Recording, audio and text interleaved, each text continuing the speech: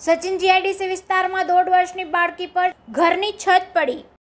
શ્રીનાથનગરમાં દોઢ વર્ષની બાળકી પર છત પડતા માથામાં ઈજા પહોંચી. હાલ બાળકીના માથાના ભાગની સર્જરી કરી સારવાર હેઠળ.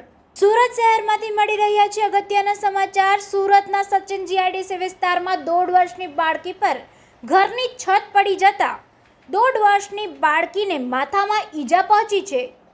શ્રીનાથનગરમાં દોઢ વર્ષની બાળકી પર છત પડતા માથામાં ઈજા પહોંચી છે. જ્યારે બાળકીને માથામાં ઈજા પહોંચતા સારવાર અર્થે સિવિલ હોસ્પિટલમાં ખસેડવામાં આવ્યું હતું.